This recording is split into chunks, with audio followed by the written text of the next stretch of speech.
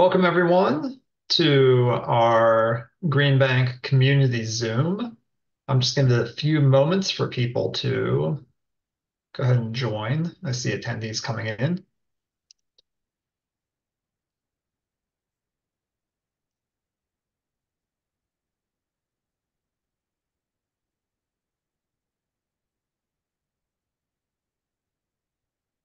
Okay, it looks like the attendee list has stabilized. So why don't we go ahead and get started?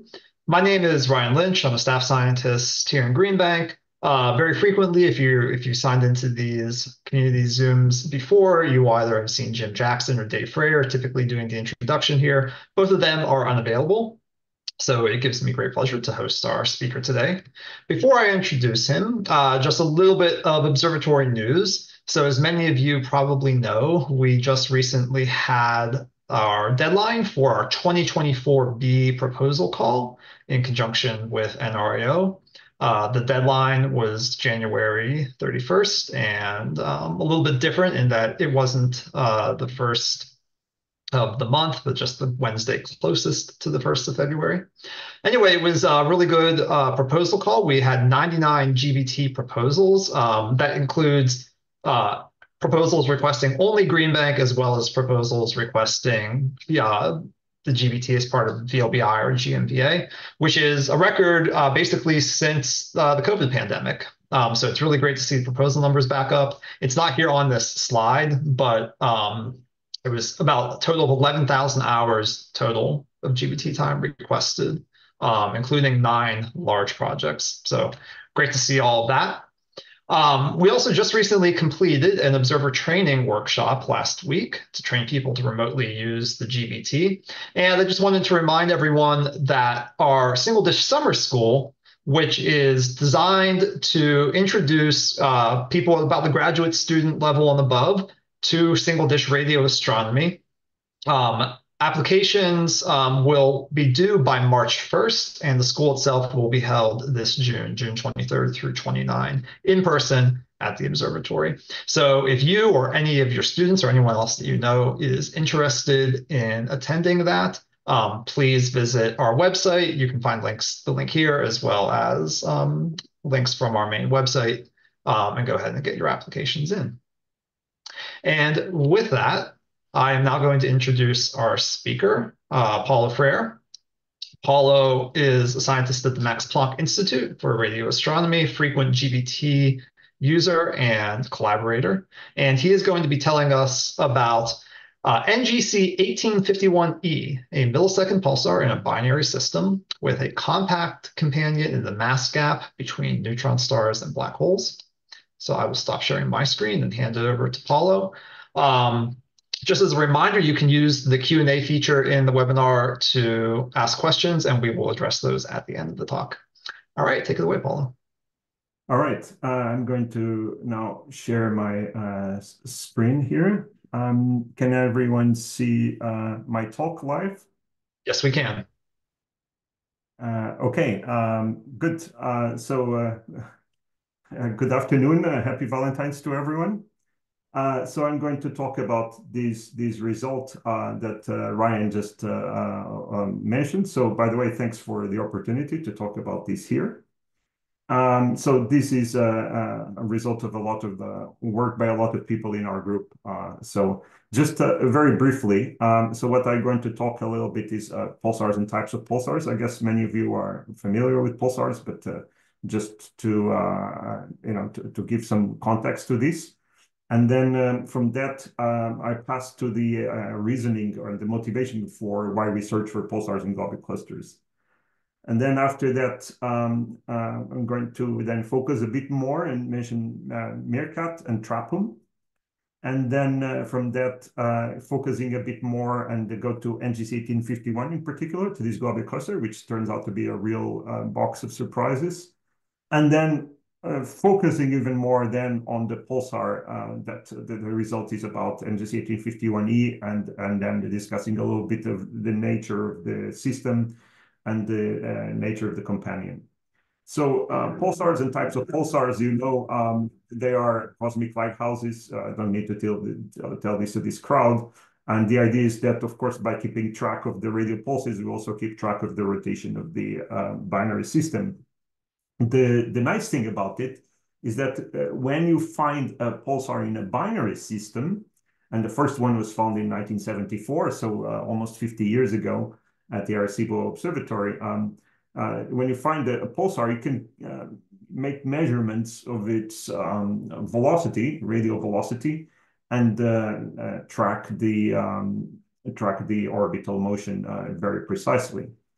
However, the method that was employed here in this particular plot, so this is a, a plot of 1913 plus 16, um, the orbital period is about 7 hours 45 minutes. Uh, orbital eccentricity is 0.617. Uh, this method of tracking the velocities um, as a function of, um, uh, of time is actually um, doesn't uh, make use of the full power of uh, radial pulsars. Um, uh, if uh, because you have in a in a binary pulsar you have um, uh, basically a clock in the system, we can actually measure the the range. So the the, uh, the so the integral of the velocity along the line of sight. So we have a line of sight velocity. You can integrate that and measure that coherently, and the the result for this is that the five Keplerian orbital parameters that we can measure from pulsar timing uh, become thousands of times more precise if we can establish a coherent solution. And this is basically for free. Uh, and this is a really important feature from uh, for for binary pulsars, and it's unique to them. That's why we can use them for you know studying gravitational waves, uh, studying these these uh, uh, orbital effects in these binaries. Um, so this feature is unique uh, to pulsars, and um, it allows us, this precision allows us to measure the relativistic effects, uh, which are cost, uh, qualify, quantified by the post-Keplerian parameters. So you see on here on the left, we have a picture with the orbital motion of the pulsar. If you subtract um, the, the, the, the Keplerian orbit for this particular pulsar, then I have to zoom in by a factor of a million because then you see the, the, the scale goes from seconds to microseconds in order to be able to see the residuals. And in the residuals, you see this tiny um, peak uh, near the, the, the, right of the picture. This is an example of a relativistic effect uh, on the, in this case, on the propagation of the light signal or the radio signal. And, uh, and this is a relativistic effect that we then can subtract, and then you get the residuals at the bottom. So the, this is a really fundamental thing about pulsar timing that we can measure these, these effects um, um, very precisely. The case of the uh, uh, 1913 plus 16, so this is the Hulse-Taylor pulsar, uh, we can transform each of these effect, relativistic effects that we see in the timing, like the precession of periastron. I'm going to talk a bit more about that. The orbital decay, the the Einstein delay, which is the, the consequence of gravitational redshift, I can use the theory of gravity, in this case, general relativity, to, to, to, to uh, uh, see what kinds of masses are consistent with each of these effects. And there's a unique combination of masses that you see there that uh, actually gives us, um, uh, you know, we have a single combination that can explain all the effects. So because these lines are um, uh, traced according using GR, um, we can be pretty sure that, um, you know, well, we can test the theory here. And the fact that the three of them pass in the same point is, is uh, allows us to, is it basically means that the general relativity passes this test. Um, in this publication from uh, Weisberg et al. 2016, uh, they not, not only measured these three classical effects in the system, but they also measured the Shapiro delay. And we can use these um, Shapiro delay parameters to measure two additional effects, and they are both consistent with the masses that we already had before. So um, one of, of course, one of the things about the orbital decay here is that uh, you can uh, calculate what's the expectation from gravitational waves, and that's the, the, the solid line here. And you then make measurements for the uh, cumulative uh, periastron time, passage of periastron time, and because of this linear change in the orbital period, the system is coming in earlier and earlier. So it means gravitational wave exists, and this was, of course, a Nobel Prize here for the for the discovery of this system. And this was, of course, very important for the construction of gravitational wave detectors, not only because they pro provided the source, but um, but uh, because the um, the system really um, uh, provided also um, confirmation that gravitational waves are real and they really carry energy uh, through the universe. So um, the types of pulsars that we uh, we look. So if you look at the mass mass diagram, I mean, you cannot have a pulsar um, a pulsar talk without a mass that mass diagram. You see um, that there is a main clump in the center, which are the young pulsars. Uh, they have uh, some of them are, that are circled in green are associated with supernova remnants. Um, and then on the lower uh, end, uh, with those squares, are the um, uh, recycled pulsars. Um, and many of those uh, those squares mean that they are associated with binaries. So that tells you a clue about how they form. And they form in in um, um, binary systems that somehow survive the, the first supernova. So you can see in the, in the diagram on top, there's a primary, secondary. The primary explodes and the system either dissociates or then you have the, uh, or, or survives. And then what happens next depends on the mass of this companion.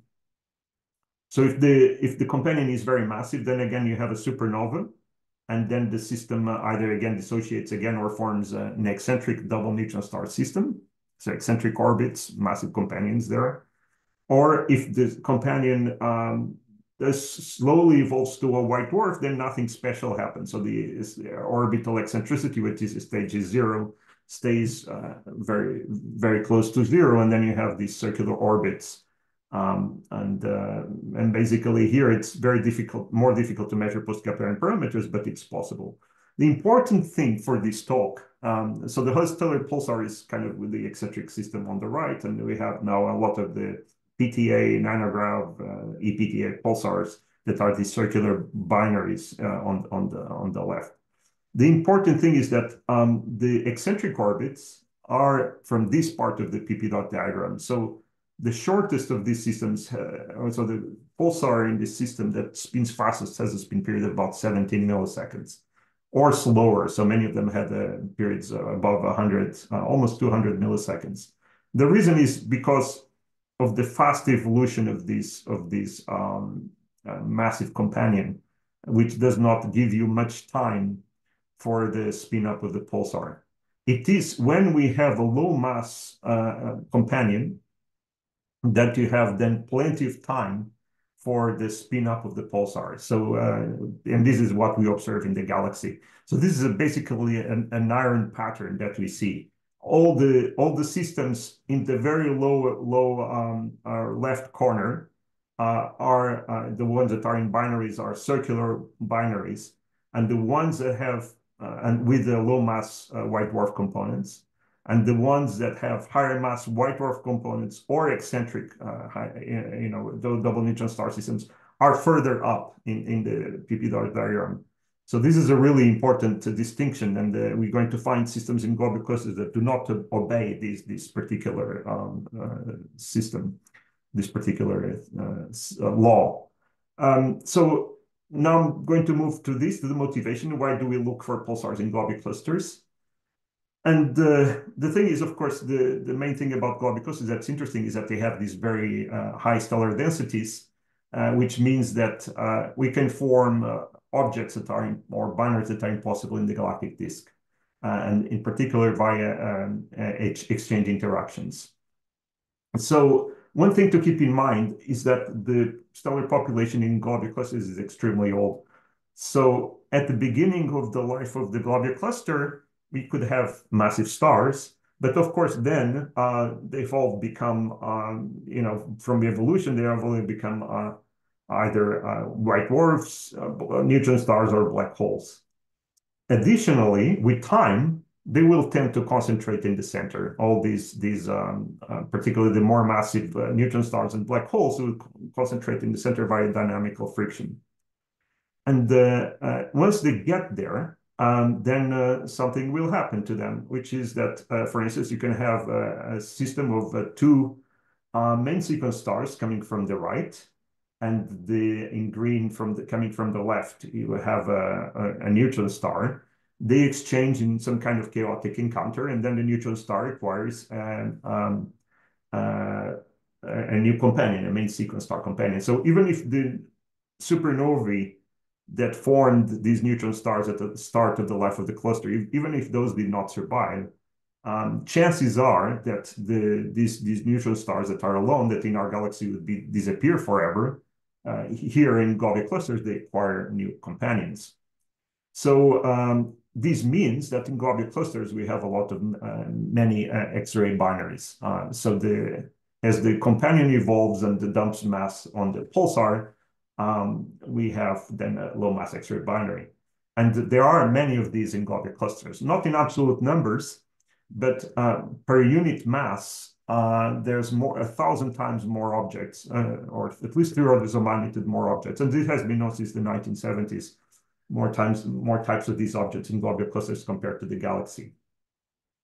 And the, the thing, of course, is that this is the formations uh, formation of a millisecond pulsar. So the, the idea is that um, if there are many of these sources, and if they form um, if they form uh, um, radio pulsars, uh, then um, then uh, we should well look for them. So the first one was found in 1987 in the cluster M28, and many of them have been found in subsequent decades. So how many is what I'm going to talk about next. So one of the motivations for finding more pulsars in globular clusters is that uh, is the sheer productivity. Uh, these searches have been uh, very um, uh, productive, but they are still completely limited by sensitivity. And this is because pulsars are very faint radio objects, so um, detecting them in globular clusters several kiloparsecs away is challenging. For a millisecond pulsar, a few kiloparsecs starts becoming difficult. And repeating these surveys with high sensitivity, then we find more pulsars, and that has been the trend. So uh, if we look at the world uh, until the uh, until the, the rec recent years, so until mid of the until around 2015, these were the telescopes that were available for searching for pulsars. Arecibo unfortunately collapsed, which is a very sad event, but uh, these were these were the telescopes that we had or that these are telescopes that, with which we could find um, um, pulsars. And it's a very small set uh, because it's only the largest radio telescopes at centimeter wavelengths that we can do this. So this means that until 2018, um, the number of discoveries uh, was basically flat most of the time. Uh, there was that episode there where we had the Arecibo upgrade in the late 90s and the construction of the GBT and the, of course also the Parkes multibeam. These led to this increase in the early 2000s, especially the GBT. The GBT surveys uh, have been uh, extremely successful with uh, uh more than uh, between close to 19 uh, pulsars found in globular clusters over the, over the years. But then you see that um, for for more than a decade after 2008, for about that decade, the number starts rising slowly again. And the reason is because globular clusters are very small targets. So, uh, and you can cover one globular cluster reasonably with a single telescope beam. So uh, at some point you run out of targets and there's not, there's not many more discoveries. The few discoveries that have happened uh, recently, until recently, have been because of reprocessing of archival data. So that was the situation. So basically, this means that we've reached a sensitivity limit, and uh, well, our surveys are completely sensitivity uh, limited. So, um, so the nice thing that has been happening in recent years is that major telescopes uh, are coming online, and the, the, two main ones that have uh, um, are really making an impact are FAST and MeerKAT. The GMRT is also producing more discoveries now uh, because it has also been upgraded, but um, to, to, the moment, not as um, not quite the same numbers as FAST as MeerKAT. Uh, also, again, because of sensitivity issues. So, since the start of uh, the FAST Globular Cluster Survey and the MeerKAT Globular Cluster Survey and uh, um, uh, and so on, and so there's an early MeerKAT census and then a MeerKAT uh, survey begin we've had an increase in the number of uh, millisecond or number of pulsars in globular clusters by a factor of uh, more than two. And actually, it's it's happening uh, quite fast because even this morning, I added four more um, pulsars to the total. is now 314. So in GLIMPSE-C01, so that's a globular cluster that had um, you know one pulsar until recently, recently found with the with the GBT at high, high dispersion measure. So GBT is still producing uh, fantastic results. in this area. And then FAST discovered another pulsar, and now with MeerKAT, we find another four. So that is so this is one of the reasons, of course, is that many of these millisecond, many of these pulsars, I mean, it's a very strange pulsar population because it, it's in an old environment. So we lot of, have a lot of millisecond pulsars, and about half of them, which are here in dark um, blue, in dark green, are in binary systems. So we had a lot of really interesting objects to to study. But the this is not the main reason why we look for, for pulsars in globular clusters. The reason is that these pulsars in globular clusters can be very odd. And uh, an example is this system. This was uh, found by myself using the GMRT in uh, 2004, so about uh, already 20 years ago that this was published. And uh, the um, these uh, pulsars, um, this particular pulsar has a massive companion in an eccentric orbit which in the galaxy, of course, would be variably a slow pulsar with spin periods of tens of milliseconds. But here, as you can see on the y-axis, the spin period is about five milliseconds. So this is really um, a system unlike anything we see in the galaxy. And the reason for that is the, because in globular clusters, we have these uh, exchange encounters. And uh, so, uh, and this actually, this cluster is so dense that you can have repeat encounters for the same object. So you have an encounter where you have the pulsar acquiring a main sequence companion, spinning it up. And then you have a second encounter where this donor, this mass donor that re uh, helped recycle pulsar, is kicked away, and now it has a, a more massive, uh, more eccentric, uh, more massive companion, a degenerate companion in this case, in an eccentric orbit. So um, uh, so this is secondary exchange encounters. This, uh, this is one of the biggest motivations for looking for pulsars in globular clusters.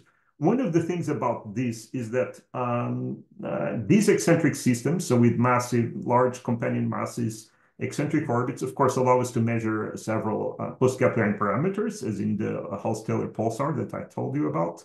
And also, um, the, they're exciting because the incoming object could be a black hole and then you'd have a millisecond pulsar black hole, which is the kind of system that you cannot see in our in our Milky Way.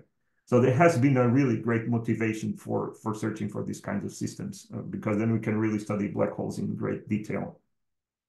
So now moving, trying to move a bit more, more faster. Uh, MeerKAT um, is uh, you know is giving us a lot of these a lot of these systems. So it's an array of 64 12 meter dishes locating in the Karoo Desert in South Africa. This is my visit, my first visit to MeerKAT in 2018. Um, I, I, am in that picture. Um, and so uh, the sensitivity near the center, the sensitivity of this telescope represents uh, um, an order of four increase relative to Parkes. And with this, with Parkes, by, by this, I mean with already the ultra wide receiver. So it's really an improvement of an order of magnitude compared to the previous Parkes with the previous uh, detectors and uh, and it has uh, this location in the southern hemisphere is spectacular because almost all globular clusters are in the southern hemisphere. Um, and all the target, almost all the targets of interest. So they, they cannot be searched with a, FAST, for instance. So um, and uh, and so this is a really a, a fantastic uh, location, and it's a fantastic radio environment. Uh, sometimes you have trouble believing how how hard the uh, how clean these these these um, this environment is. Um, in order to use um, MeerKAT uh, to do surveys, there have been several large science projects that were constituted. One of them is TRAPUM. Uh, TRAPUM does all kinds of pulsar searches. Uh, so the PIs are uh, Michael Kramer and Ben Stappers. Um, the, it does uh, all kinds of surveys, including surveys in globular clusters, but also galactic plane survey and Fermi survey and so on. Uh, it has been very successful with more than uh, 200, close to 250 new pulsars discovered to date, but it's just beginning. And there's a second uh, um, LSP dedicated to timing radio pulsars, with again, with several lanes. This is called MeerTime. And uh, uh, yeah, one of the largest surveys, and this is one of the that is done with the uh, collaboration between the MeerTime LSP and the, TRAPUM, is the uh, Southern Globular clusters. The reason for this is that some of the pulsars that are being timed in these globular clusters uh, are good targets for for timing already. And but of course, then as we look at the globular cluster, it also takes search data. So uh, yeah, and the, these um, these um, the globular cluster discoveries uh, now we're close to hundred uh, new discoveries, and uh, so they are almost half of the discover of the this total discoveries with TRAPUM. So one of the um, um first um, when we start first looking at uh, globular clusters, um, we did a small census, and here's the the the result from this census. So uh, led, this was led by Alessandro Ridolfi, a former student of mine at Max Planck, and Tasha Gautam at the time, my student as well. And then so myself, um, and uh, with great help from Scott Ransom with a lot of uh, search uh, expertise. And uh, we and others, many people putting a lot of work here, uh, also from the South African side. And they found these eight new pulsars. So this is Alessandro, this is Tasha at the time. And this um, this search uh, found um, found uh, eight. And the, this search or used only the central core of the uh, of MeerKAT because it didn't have the beam forming fully fully working at the time. So used only the, the central core with 40 antennas. And we could find these eight pulsars. Um, and uh, interestingly, uh, we targeted a lot of these very dense, the densest types of globular clusters, which are core collapse clusters, but others as well. And uh, yeah, we found, uh, for instance, um, an eccentric um, uh, massive uh, binary system in uh, core collapse cluster called NGC 6624. Uh, so that's 6624G. So this is um, the pulsar in this system might be quite massive. We don't know the individual masses yet.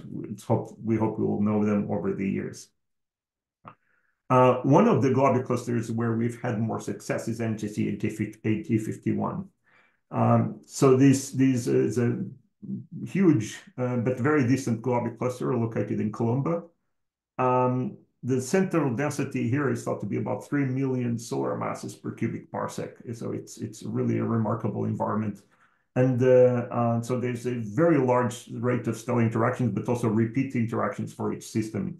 And the, the previous known pulsar in this system NGC 1851A, for which I already showed the picture, is an example of that, a system, a pulsar that went through multiple uh, in interactions. This is the first paper that came out, uh, again led by Alessandro Ridolfi, um, and, but uh, also co collaboration from the, some of the previous authors that you've seen already. Um, so um, tra with TRAPUM, we discovered 14 new pulsars in NGC 1851. So uh, there has been a discovery, uh, an, an, initial discovery since the time of this paper. And um, yeah, and uh, here we are already using the, the main survey. So in the main survey, we have the beamformer. And uh, uh, this is the problem, of course, of, uh, of using an array. And with the GBT, for instance, we can cover this whole region of interest with a single beam. Uh, when you have a beamformer, of course, you need to create many beams to cover the region of interest, which is this, this circle, that circle that you see here, um, uh, which is, um, uh, you know, so you need to, to make many more beams. So on the on the right, we are looking at UHF. So um, lower frequency, the beams are a bit larger. Um, on the left, on, on the left is uh, L band, so beams are a bit smaller, so you need to make more of them. So of course, this means that we need to store much more data and process a lot more data. But uh, this is the uh, this is the price, of course, we pay for having such a, a sensitive telescope. Uh, it will be very hard to make a single dish uh, as sensitive as this, and it will, of course, not be so good for for people that like to image things. So there's some um, these are the pulse profiles of some of the new discoveries. You can see they're not very well defined for some of them. So it means that most of these objects are extremely faint. Um, you can see the, the fluxes here. Uh, so this is a table with the, the numbers, so I'm not going through detail. But there's many things here with the fluxes of about 30 microjanskis. So the, the, there are really uh, truly miserable sources in terms of flux.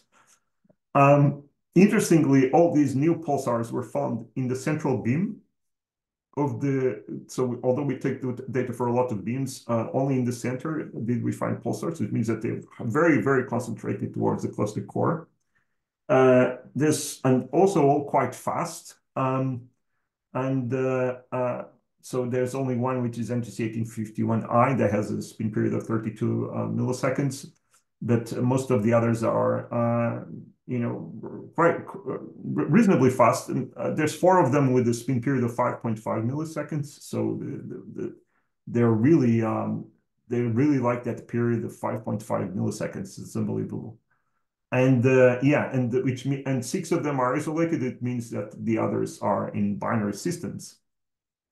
Now, of this table, I'm going to focus on these particular systems. So we have this uh, NGC 1851b and E. And if you look at the eccentricity and the minimum companion masses, that, so the, the columns, you see that they are highly eccentric, like NGC 1851A. They, they are highly eccentric, and they have large companion masses. Um, so this is uh, these are the some of the first uh, spin period measurements. The, the peak in NGC 1851D is not very well sampled in this, but we already know it was that, and it is confirmed with later measurements the eccentricity really is 0.86. And, uh, and you see the, the, the NGC 1851E, you really see the, the also the, it's clearly an eccentric orbit. Um, so uh, yeah, so this is uh, these two systems are are uh, very interesting in the sense that particularly the second one, NGC 1851E, because uh, we already knew that uh, if we have a pulsar with a mass of 1.4 solar masses, the companion as at least a mass of at least 1.53 solar masses. So yeah, so this this was all known in 2022, and I'm now going to the uh, cover the new paper, NGC 1851E. Um, so uh, this paper is led by Ewan Barr. Uh, he has done tremendous amount of work for for our um, for the MeerKAT, the World MeerKAT Observing System and data analysis and the surveys so he's, uh, he's, he's really put enormous amount of work in this. And my current uh, student, uh, Arunima Dutta, she has also done a tremendous amount of work for this paper. Um, and ma many of the analyses that are that you see hidden in the SOM are done a, a lot by her. So this is the, the paper that you might have seen recently. And uh, um, yeah, and uh, so I'm going to go through the contents of the paper. So just um, uh, basically about NGC 1851E, you can see some of the best parameters. So with the Earth, we're uh, kind of looking at the system from uh, below, from the so minus infinity at, at in the y-axis. And uh, here we're assuming a mass ratio of uh, uh, one to two in favor of the companion. And the yeah, the orbital uh, period is 7.4 days. So it's not a very compact system. It's, it's not. And um, yeah, so what we've did with, with this system is that we uh, did the usual timing technique. So we establish a timing model. You keep taking data, you keep perfecting this model. At some point, you get we got a unique uh, solution. And uh, this unique solution is here. It's published. So um, uh, this was a bit of a um, took um, some work because we don't MeerKAT doesn't give us much time, so uh, to get timing solutions, sometimes it's a bit challenging. But with the help from the whole team, we were able to do this.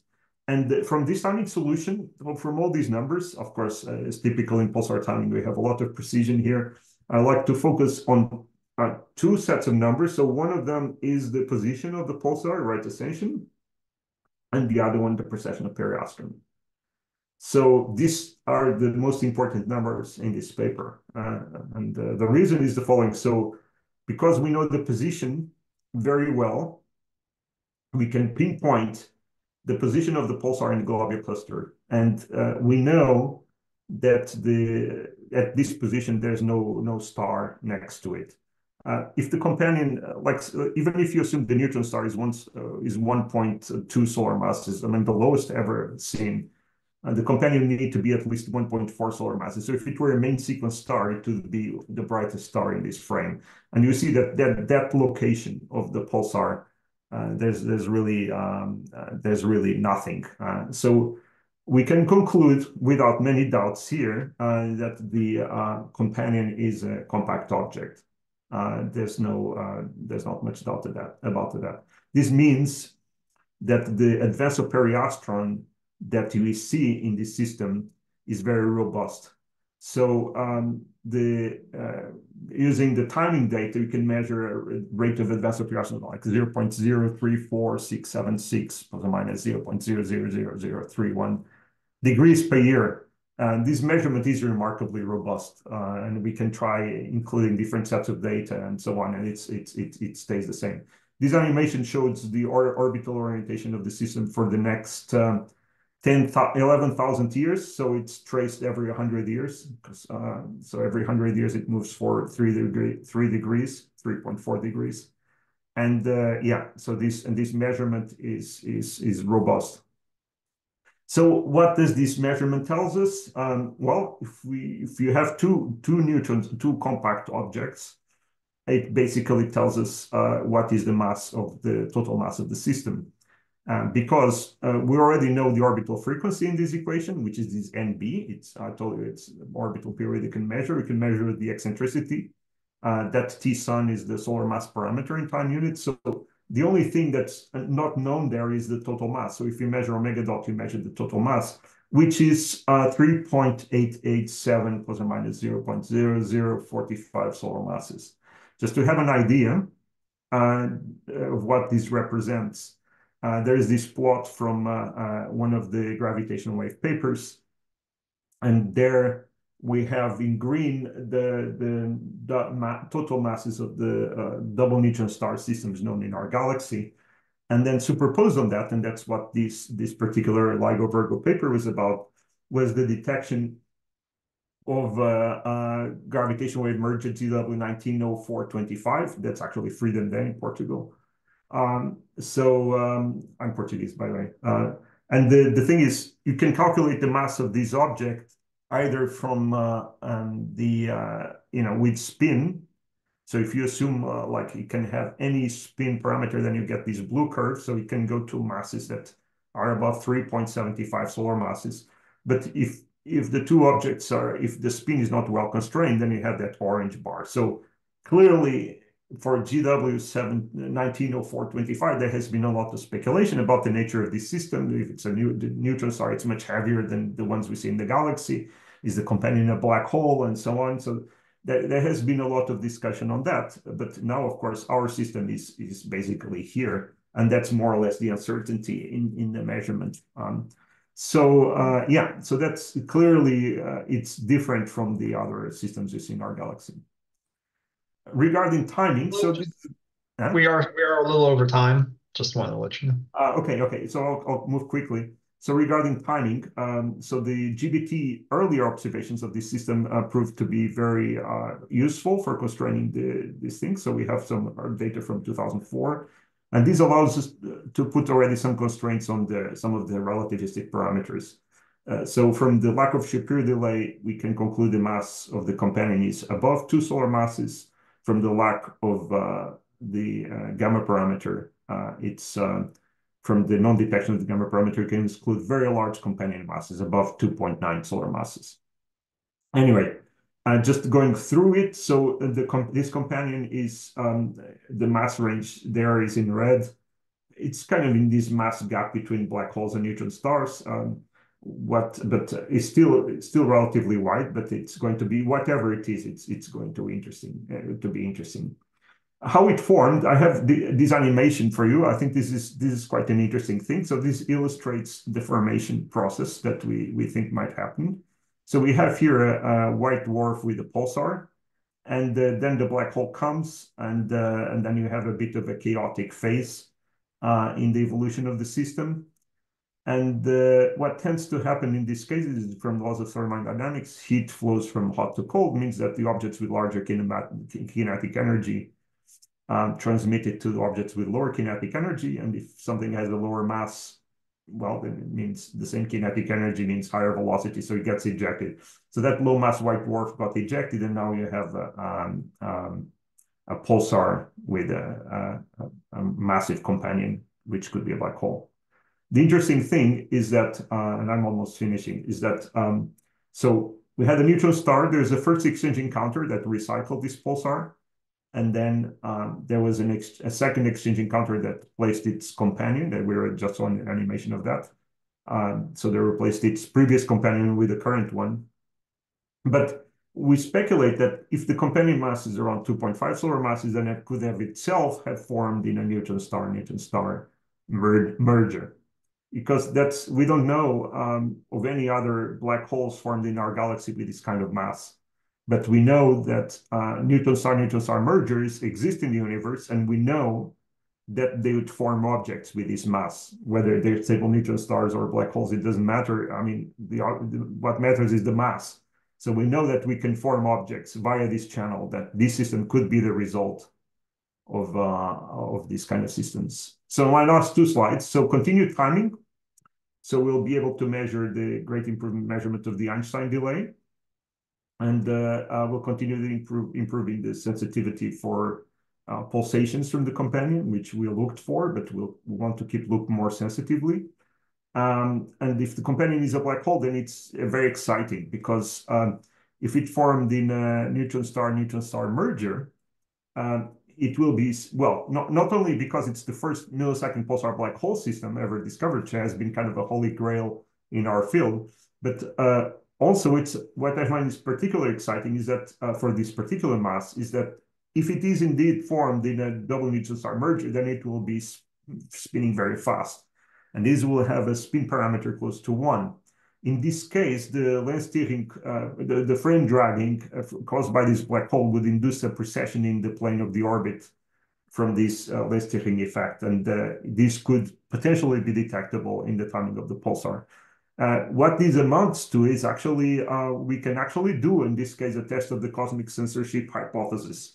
Um, uh, so um, if you have a spin parameter that's larger than one, then you have a naked singularity.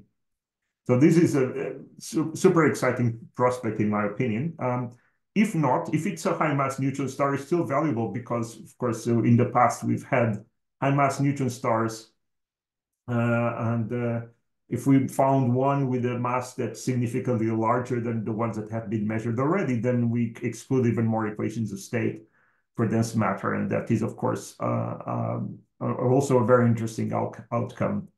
So yeah, so that is my last slide. Uh, just want to thank you everyone for the for the invitation and for the opportunity to be uh, to be here. Yeah.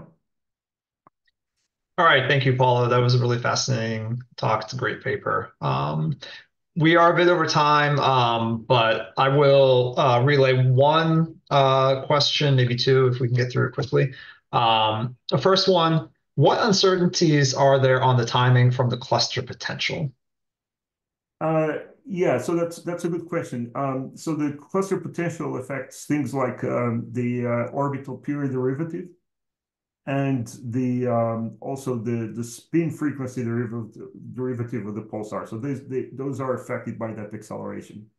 But apart from that, the uh, these will have no effect whatsoever on the um, advance of periastron, or or the the other quantities like uh, like the position.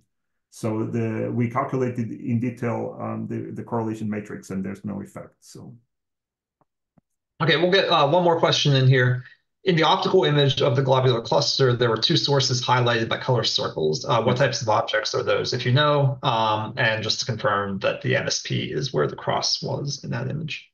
Yeah, uh, that's right. So the, the MSP is the is the cross in that image, and the and the the two objects. So um, as you see, there's a large density of stars. Um, the the red um, the red one is a 0.7 solar mass main sequence star and we discussed this in the paper. You can see it in the materials and methods. And that blue one is a 1.2 solar mass um, blue straggler. Yeah.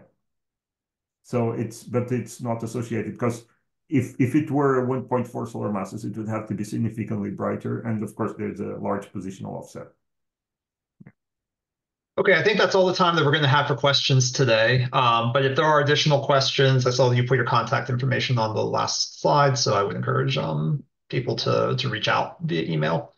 Uh, thank you again, everyone, for attending, and we will have another community Zoom in two weeks. We hope that you join us for that. Have a good day. Bye.